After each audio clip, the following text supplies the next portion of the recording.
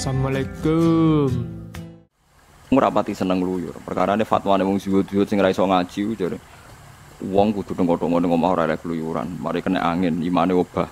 Yo ora usah ngono-ngononan. Quran niku pokoke awalam yasiru fil ardi, afalam yasiru fil ardi. Kadang awalam yasiru, kadang afalam yasiru, kadang pakai hitop kul siru fil ardi.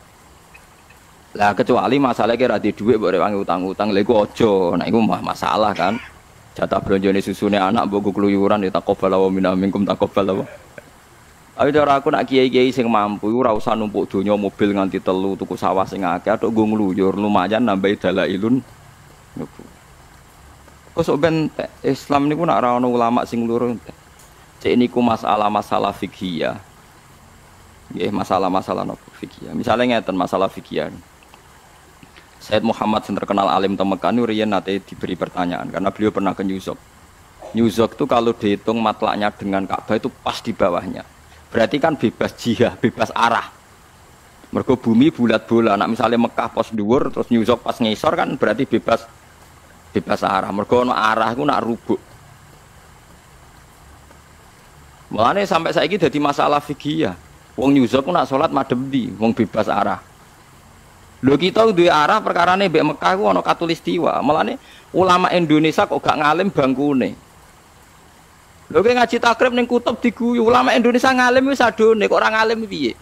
Waktu sing diulangno Jibril Nabi Muhammad itu persis waktu sing Indonesia. Subuh itu mulai fajar sotik nganti serengenge meletek. Ning Indonesia ana serengenge meletek. Zuhur itu nak wis istiwa luwes sithik jenenge zawal. Indonesia ya zawal ya istiwa. Engkau entah waktu asar nak suruh srengenge oleh muhagrib. Jajal kitab takrib waca ning kutub. Faslun. Wah. Oh, waktu ning asar entek nak mlek suruh srengenge. Surup terus, Mbah. Poso iku mulai fajar sodik nganti srengenge surup. Surup terus pirang-pirang tahun mati kabeh perkarane. Utawa wong kutub ora usah poso bengi terus. Lho iku nak ulama ra ngluyur ora ros, tidakne agak ngluyur fisike, ngluyur uteke. Kula nu ada kitab karangane wong kutub. Perkara ini kalau di kepentingan wong kutub fatwane iku piye? Kula duwe kitab karangane wong Inggris. Karangane wong Amerika kula gak ada, saya kakak bani. Kula di kitab karangane wong sak buta kula nu nak gawe hukum iku piye daerah-daerah yang berbeda. Lah kira rasane dadi ulama, loro kaya kula wis ora usah kepengin, loro perkara ini. Indonesia itu bejo mergo diliwati khotul istiwa. Cara bahasa Indonesia katul istiwa. Khotun maknane garis, istiwa itu seimbang. Jadi khotul istiwa adalah ning sigari bumi pas tengah. Mulane mbek Mekah sami karena sama-sama diliwati khotul istiwa. Enak jadi wong Indonesia. Ngaji takrib aman. Gak diarani pembohong kiainya. Coba kitab itu baca di kutub. Di huruf bisamsi sering ngene ndi, Mbah? Tulu isamsi sering ngene ndi, Mbah? Ora ono apa? Orang ono sering ini. Pemenang ono keterangan hadisnya kanji Nabi misalnya, abridu biduri, kan nak zuhur ngenteni adem adem adem terus bah. oh kacau kabeh pokoknya semua aturan. Lah iya nek kitab takrib Pak kesunatane nak zuhur panas banget kon ngenteni adem-adem terus mbok waca ning kutub. Walah, Bah. Ora trimo adem mong. Beku. Mulane kula niku butuh betul. Nah, mulane alhamdulillah saniki ana Rabitatul Alam Al Islami. Ulama sak donya duwe ikatan. Termasuk Indonesia sing makili kados Mbah Mun, kados Kisal. Dan saya selalu baca jurnal Rabitatul Alam Al Islami karena untuk memutuskan kayak di Belanda itu kadang Rino nganti 16 jam, tapi kadang mau sangang jam. Itu pasane piye? Kita ini bejo, ada katulis. Sehingga semua kitab yang kita baca itu tidak ada yang janggal. Nah sekarang pertanyaan fakihnya adalah apa boleh kita ngejar matahari? Misalnya begini, ben sampean ngerti, ben tahu mikir fikih barang. Kalau nanti ngalami mbak, saya pernah 2009 tuh dari dari Jakarta itu jam 12, jam 1, jam 1 tepat. Naik pesawat mau umroh. Sama krunya dibilangi bahwa penerbangan 10 jam.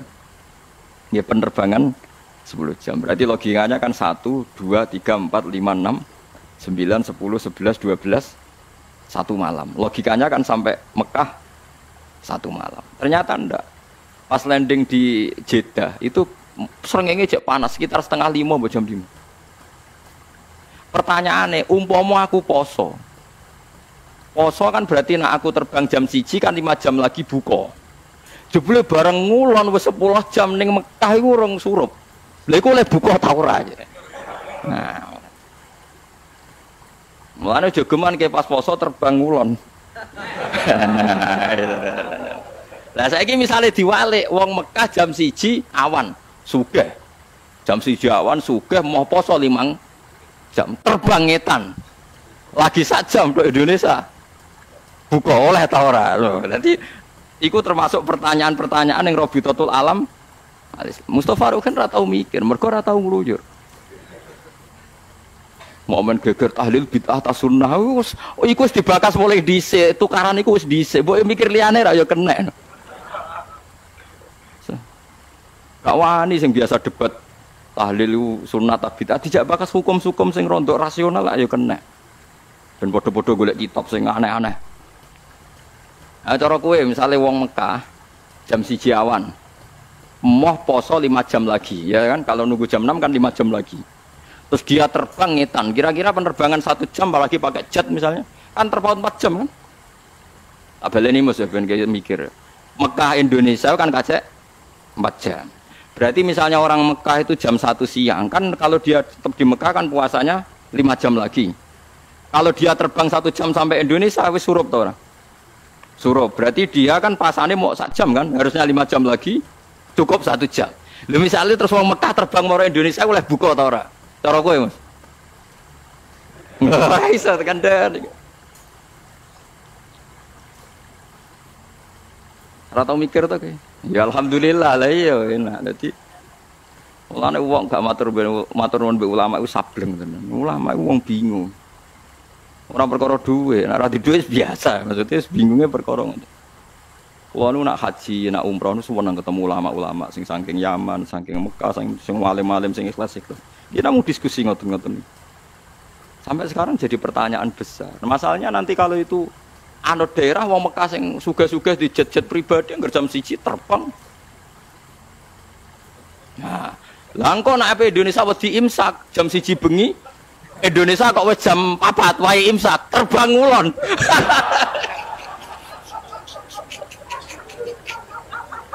Lho kan ijek bengi berarti nih. Paham ya? Aman deh imsak terus. Iya nah Indonesia wis jam telu kan saat jam kas kan imsak misalnya. Terbang moro ngulon. Kok Mekah aja jam loro bengi neh. Game ini cek mangan meneh. Lah yo wong dari poso kok gegere ngetan. Nah, tapi sampean benro, lha jenenge wong ku benro afalam yasiru fil ardi ana awalam yasiru fil ardi. Dadi wong benro hukum geografis sejarah wong ya beda-beda, hukum ruang dan waktu nggih wong beda-beda. Lha iku ulama tugase nggarap detail. Nah, makanya wong bodoh repot. Wong Mekah wis bodoh kok Indonesia orang bodoh engkek. Wong Mekah pusat Islam ya goblok kok ora barbar. Wong Indonesia ambek Mekah iku wektune beda. Mergo bulan iku kok kulon seringe kok wetan, mulane tanggal yo dhisik Kulon, malah Mekah ambek Indonesia seringnya bodone di sini. Mekah. Apa juk bodoh mergo jare Mekah itu pusate. Sesuk ngono ngono Mekah salat oleh mubeng Indonesia ora oleh malah. Kaca edan bareng. Ah, kayak wong kaji-kaji bento ya tahu menang ya sholat fera. Oh, Mekah bebas Indonesia kok ora bebas dari Karena gaji balul balul itu serempet. Serempet terus ngerusak ngerusak tatanan. Nopo ngerusak nopo tatanan. Kulon sering ditangkleti gaji-gaji balul. Gus, apa nak kaule Gus? Wong Mekah biasa Gus. Nak pas sholat ditelepon terteleponnya diangkat muni soli. apa nak kaule Gus? Oh, Arab bintu dadi ora Anjen kula lah bola balik roh Mekah HP telepon diangkat. Soli terus diulap sai meneh maksudnya kurang ajar. Jadi apa anak kau lek kalau biam wong bintu ya. Mekah berdua itu sing turunannya Abu Jahal sing ngono-ngono wae. Oh, pepene Mekah itu sudah di napa? Dadi napa hukum Mekah itu apik wong Indonesia ana. Wassalamualaikum warahmatullahi wabarakatuh.